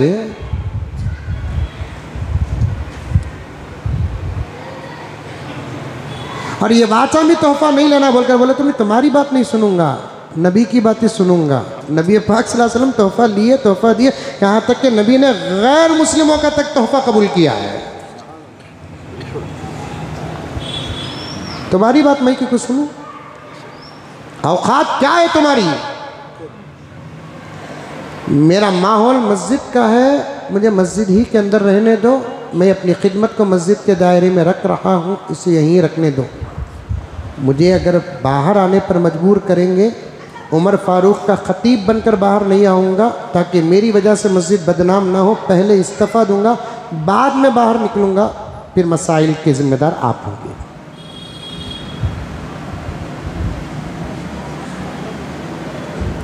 ऐसे ऐसे खरियों को गया हूँ, जहाँ पर मुझे सही सलामत टू व्हीलर तक नहीं मिली।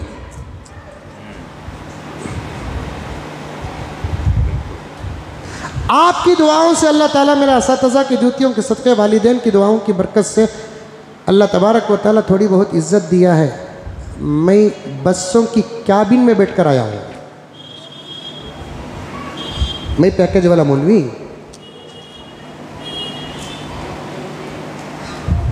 और मैं ये भी नहीं कहता कि मुझसे माफ़ी मांगो। क्योंकि माफ़ी मांगे तो माफ़ करना पड़ेगा, मैं कुछ इंतज़ार करूँगा कि अल्लाह के फैसले क्या होंगे।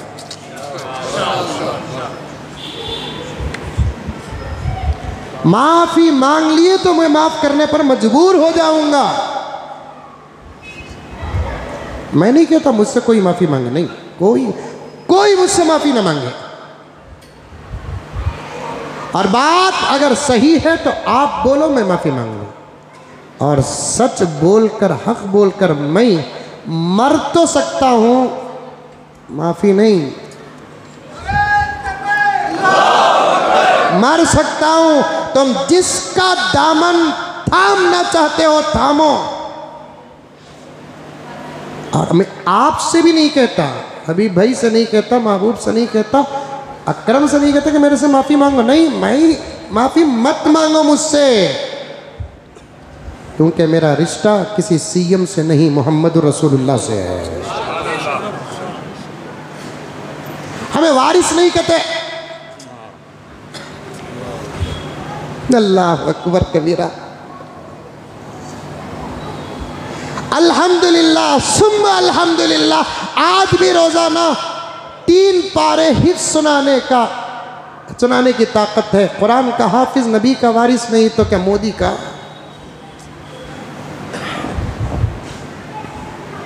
मंजे वारिस नहीं बोलना, मेरा दिल तोड़ना, मंजे नहीं। अरे नबी को नबी नहीं बोलने वाले, नबी जब सबर किए तो मुझे वारिस नहीं बोलने वाले बोले, मैं सबर नहीं करा तो फिर नबी का हक क्या अदा होगा?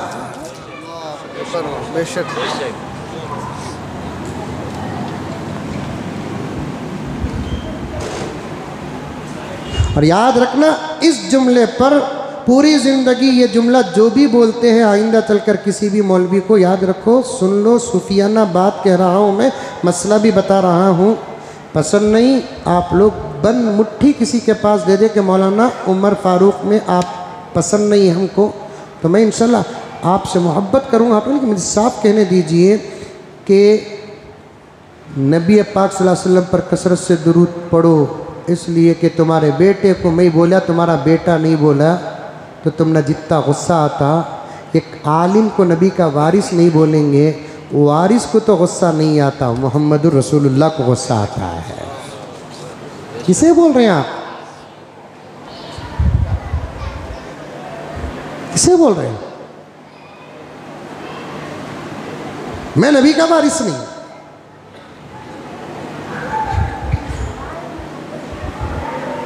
एक नबी के वारिस को नबी का वारिस नहीं बोल रहे आप। मैं तो साफ़ कहता हूँ, बाहर के माहौल पर बोला, और अंदर का वो माहौल भी एक पाँच दस परसेंट अभी भी इसला का मोहताज है। औरत का चेहरा खुला रखना जायज़ है। जाओ, फतवा मंगाओ साहब। फतवा मंगाओ। औरत का चेहरा खुला रखना जायज़ है।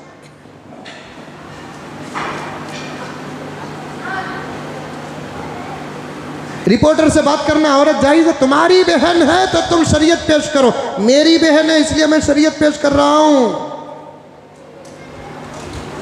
कौन सा गलत कहा साहब मैं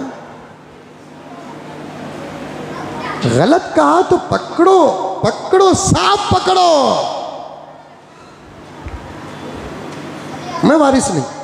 लाहौल वला इल्ला बिल्ला क्या होगा उन ज़ुबानों का? अल्लाह ही बेहतर जानता है। फिर भी आका ने तो अच्छे अच्छे, वहसी को माफ़ करते हैं अल्लाह के रसूल। हम भी आपको माफ़ कर देंगे। हमें अच्छा नहीं लगता कि हमारी वजह से किसी पर अल्लाह का अजाब आया। नहीं अच्छा नहीं लगता।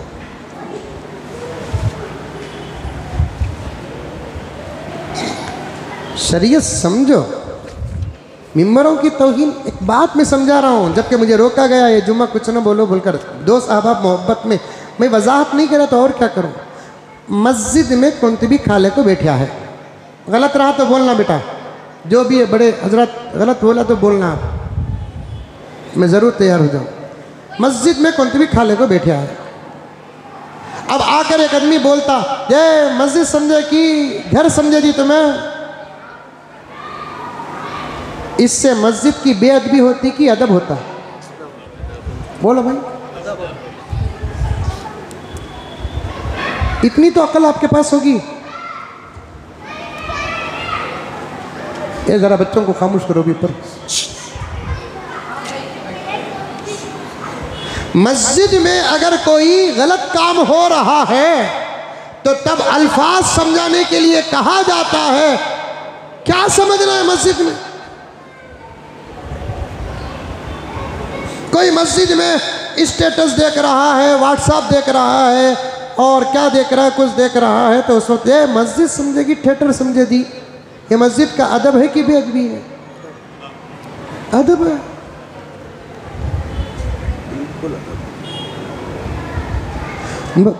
मस्जिद का अदब है बोलकर ही तो आपको डांटे इसी तरीके से उस मुकद्दस जगह का एहतराम है बोलकर ही तो हमें बचा है।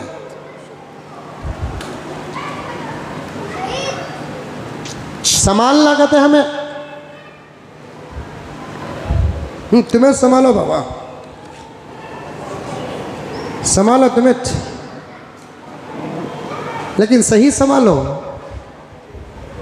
सही संभालो। अच्छा संभालो।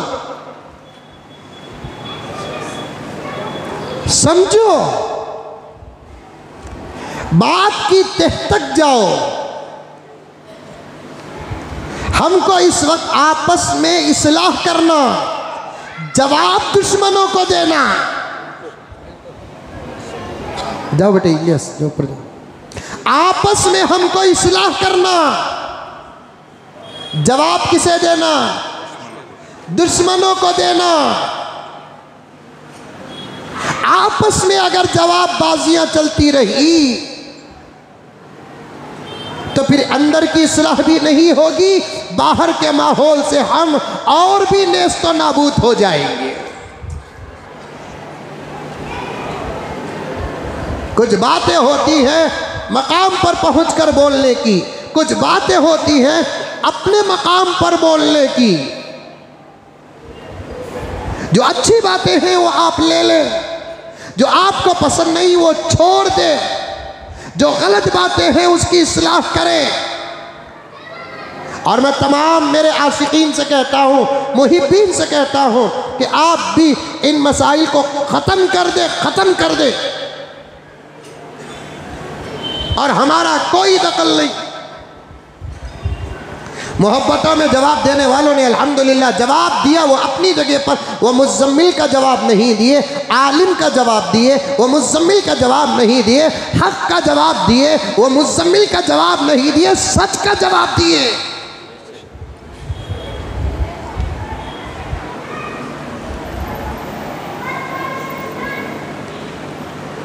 क्या क्या कहा जा रहा है?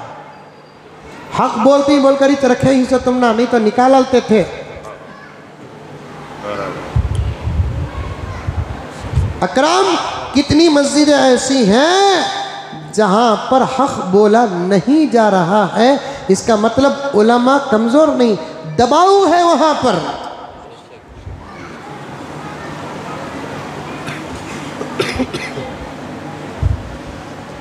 हक बोला जा रहा, इसीलिए रखा गया है। अब मैं बोलूँ चमचागिरी कर रहे हैं इसीलिए बेंगलुरु का तवाफ कर रहे हैं। बेशक बिल्कुल सही बात है।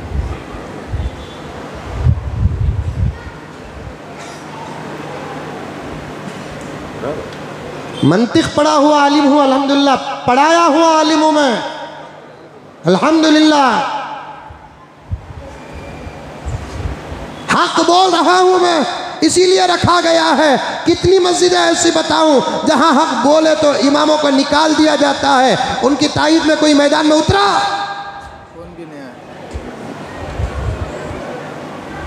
सूद के बारे में बोलकर खतीब को जहर पढ़ाकर असर में निकाल दिया गया है। ताइद में उतरे?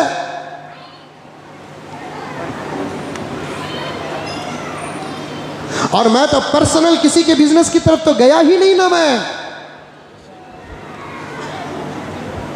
किसी के धोखे की तरफ़ भी मैं गया नहीं ना। और हकीकत जाना भी नहीं ना।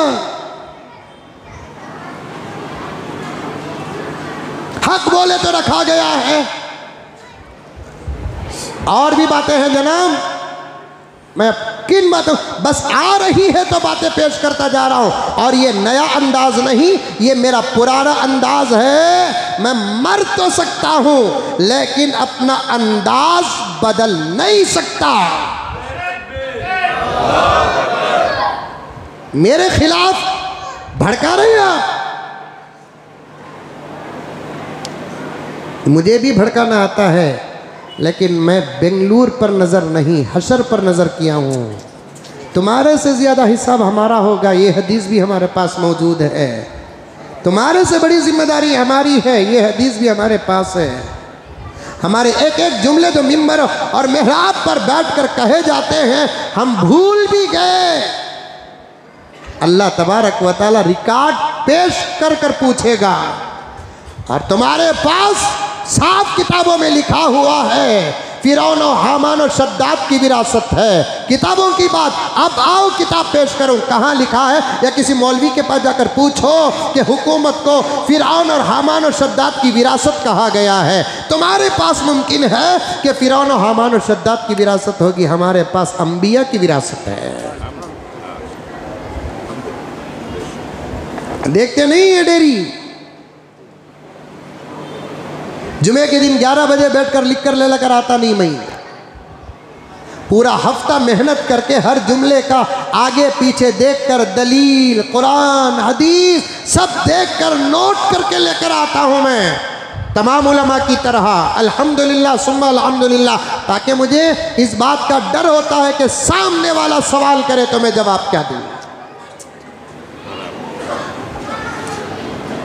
जो मुँह में आया कहो साफ़ कह दो कि बयान पसंद नहीं आया। अलग बात है। पैकेज वाला मौलवी, मैं कोई जुमला ऐसा कहा किसी के बारे में? साथियों ने कुछ कहा होगा, या आपके कुछ मुखालिफिन कहे होंगे, या और आपके और भी मसाइल कहे। मैं कोई जुमला कहा? पर्सनल केसों की तरफ़ मैं आया। और मुझे कहा जा रहा है कि पैकेज वाला मौलवी बन मुट्ठी मेरे हाथ में दिए। तोहफा देकर बोलने वाला, थूक कर खाए चाटने वाले के बराबर है। ये पैगंबर का फरमान है।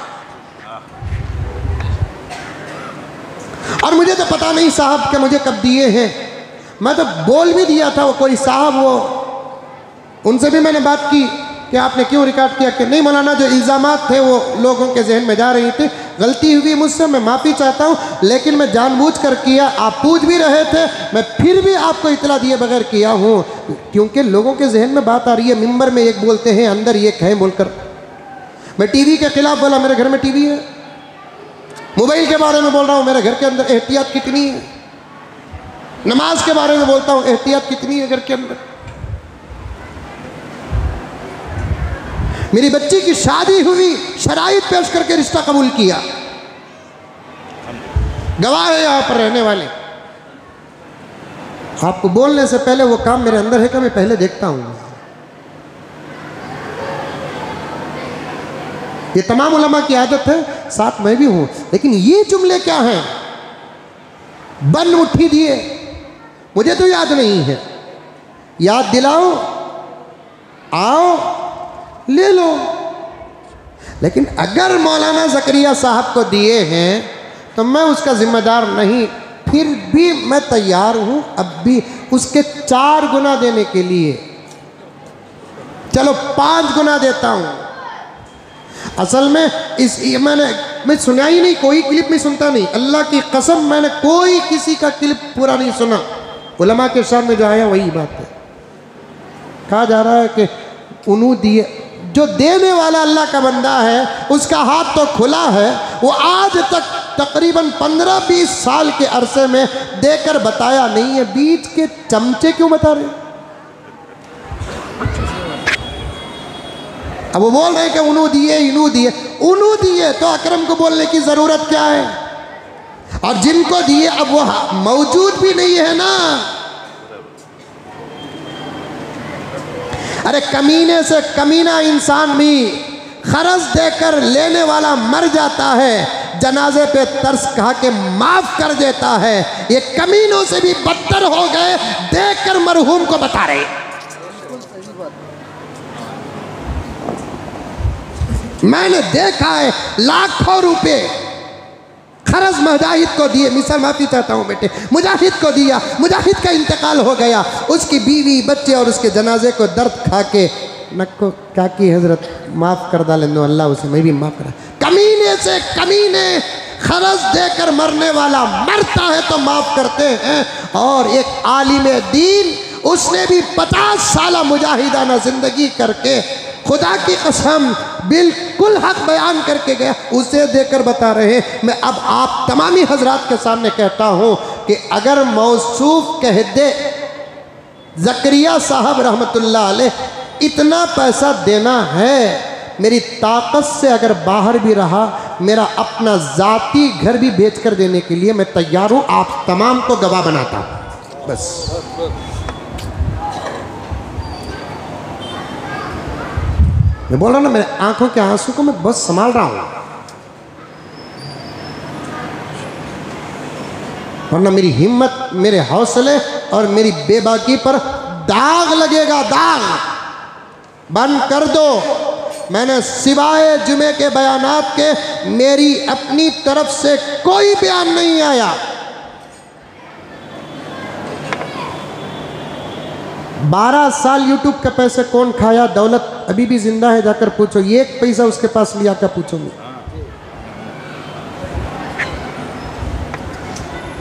माफ़ी चाहता हूँ, वाहिद, माफ़ करना। ये भी वही मेरे साथियों में से गरीब बच्चा है। आज इन्हें संभाल रहा है। कौन सा एक पैसा मुझे दिया, पूछो। आपके सामने बीच में बैठा है, पूछो।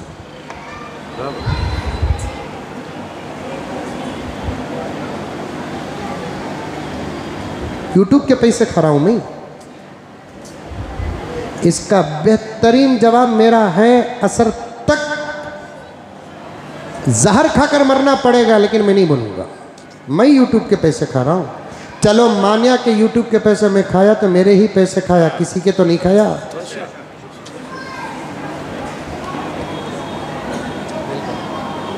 एक मसले में मेरी बहन, अल्लाह सलामत रखे, उम्र में बरकत दे। उसका एक मसला किसी और से हुआ तो मेरे बहन के कुछ पैसे वो ज़्यादा खा लिए। तो हमारी बहन फैसले में बैठने के बाद मेरी सगी बहन ने कहा, छोड़ो भैया, जान दो, हमारे दूसरे खा ले तो का भी नहीं भैया, लेकिन हमें किसका भी नहीं खाना। मैं बोला कि, बच्ची, तेरे अंदर से जक्रिया बोल रहा है। तेरी सगी बहन मंजे बोली, भैया, छोड़ो भैया, वो छोड़ डालो अल्लाह बहुत बड़े ही देते हमारा दूसरे खा ले तो परवाह नहीं, माफ़ करने का रास्ता हमारे पास है। लेकिन हमें किसका भी नहीं खाना? यूट्यूब का खाया तो मैं, मेरा खाया, बाबा, तुम्हारे बाप का खाया। पैकेज पर भी फतवे मौजूद है, लेकिन मैं आज तक नहीं लिया पैकेज। पूरा कर्नाटक गवाह है, तेलंगाना गवाह है, आंध्र प्रदेश गवाह है, महाराष्ट्र गवाह है, आसाम गवाह है, बंगाल गवाह है उड़ीसा गवाह है अल्हम्दुलिल्लाह सुम्मा अल्हम्दुलिल्लाह यूपी गवाह है, झारखंड गवाह है, इन तमाम इलाकों को जाता हूँ। एक ज़माना ट्रेन में जाता था, मसरूफियत ज़्यादा होने की वजह से फ़्लाइट में जाता हूँ, वो भी दिल छोटा करके जाता हूँ, क्योंकि फ़्लाइट में इतना पैसा खर्च होता है, मदरसे वाले कैसे संभालते हैं? अल्लाह अकबर। उल्टा वहाँ के लोग पूछते हैं, तुम्हारा हदिया क्या? मैं बोलता हूँ, भाई, सिर्फ़ फ़्लाइट का सफ़र बर्दाश्त कर लो, उसके बाद तुम्हारी मर्ज़ी भाई। आपके इलाकों में आकर अल्लाह अकबर। सवाल करके तो दूर की बात, बग़ैर सवाल के लेकर जाने के लिए भी दिल नहीं मानता। मैंने कई शहरों में ये जवाब दिया है।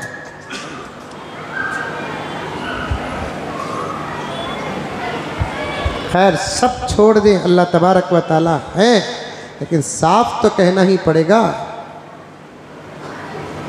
उलमा की कभी बदुआ मत लो।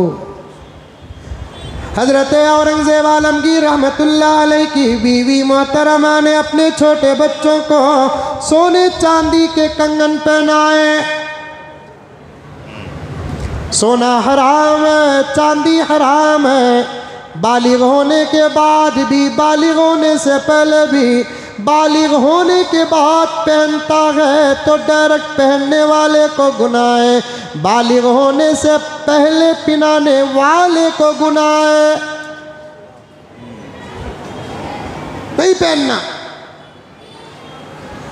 अमीर हो के गरीब हो, बादशाह हो के रियाया हो, आलिम हो के जाहिल हो, सबके लिए शरीयत एक है। खुशी हो के गम मस्जिदों के बाज़ार हो, सब में समझौता हो सकता है, लेकिन शरीयत में समझौता नहीं हो सकता।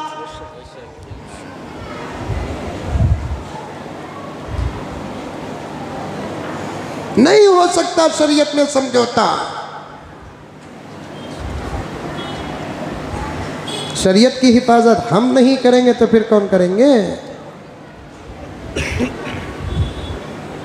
बहुत सारी बातों को मैं काट दिया हूँ, सिर्फ़ आपके दिल दिमाग साफ़ करने के लिए। मैं अभी भी बोल रहा हूँ, हमारी आपस में इसलाह होना जवाब हम दुश्मनों को देना है। योगी तो दिन रात करेले खा है। अब उन्हें भी शुरू कर लिया है भाई बहनों बोलकर मैं फ़ौरन बोलिया, ये जुमला बता रहा है कि अब योगी भी इंतज़ार में है। रोड़ा में नमाज़ बंद करे कहते, बहुत बड़ी बात, बहुत बड़ा बहुत बड़ा काम लाउड स्पीकर में अजान बंद करे कहते लाउड स्पीकर में अजान बंद करे कहते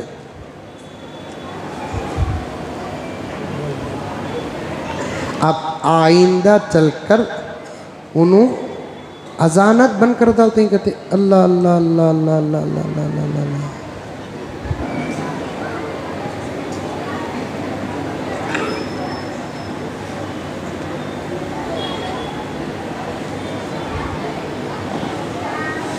हिंदुस्तान में क़ियामत तक कभी अजान बंद नहीं होगी, योगी जी। तुम्हें हमें ख़त्म होंगे, लेकिन अजान दिल गंदा है तो फिर गंदी ज़ुबान भी होगी। मेरे कुछ साथियाँ यही ना, तुम्हें कहा भी टेंशन लेने को ज़रूरत? बोले बाबा एक आठ दिन से गोश्त ज़्यादा खा रहा हूँ। मैंने टेंशन आया तो गोश्त ज़्यादा खाते उसमें अब भी महबूब ऊपर बोले, मैं क्या की सोचा, सूरत उतर की रंगी ना बोल को, क्या हज़रत वली में के नोशो के सका ही ना करेंगे? हाक बोल को, कौन भी उतरता नहीं, चढ़ता सोच दिल गंदा ये योगी के नाम। तुम ना बना तुम्हें उसे भी उठा को क्लिप बनाओ को। चुप के बोला दिल गंदा है तो फिर गंदी ज़ुबान भी होगी। ऐसे में तुम जैसों की पहचान भी होगी। दिल गंदा है तो फिर गंदी ज़ुबान भी होगी। ऐसे में तुम जैसों की पहचान भी होगी। तुम नफरत के जहर मत घोलो। ये हिंदुस्तान है, यहाँ भजन भी होगा, यहाँ अजान भी होगी। इतना ज़बरदस्त सेकुलरिज्म कोई पेश करता है, अगर करता है, इस मुल्क में तो मोहम्मद का गुलाम करता है। इतना ज़बरदस्त सेकुलरिज्म कोई करता है, अगर करता है तो मोहम्मद का गुलाम करता है। हाथ में कंगन पहनाए गए पहनाने के बाद बीवी मोहतरमा अल्लाह वाले थे, अंदर की बात कभी कभी हो जाता है कि बड़े बड़े लोग भी फिसल जाते हैं। अब बीवी ने पिनाने से पहले दरबारी मुल्लाओं को पूछा, हर दौर में दरबारी मुल्ला रहे हैं? दरबारी मुल्लाओं से पूछा, क्या मैं मेरे बच्चों को सोने के कंगन पहना सकती हूँ? तो दरबारी जो मुल्ला होते हैं ये मेरा जुमला हटकर नहीं ये भी हदीस के अंदर है।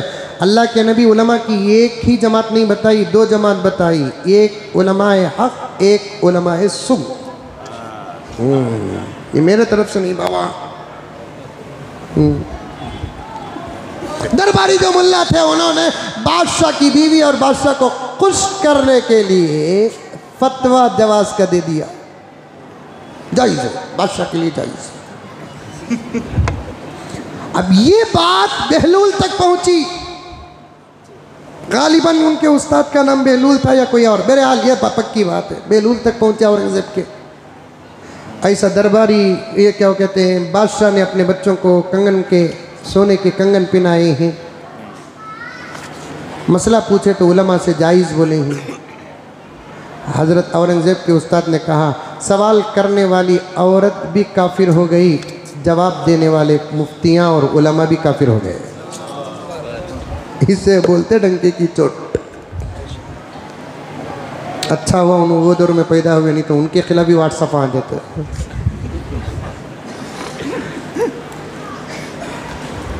हज़रत ने क्या जवाब दिया? सवाल करने वाली भी काफिर हो गई। जवाब देने वाले उलमा भी काफिर हो गए।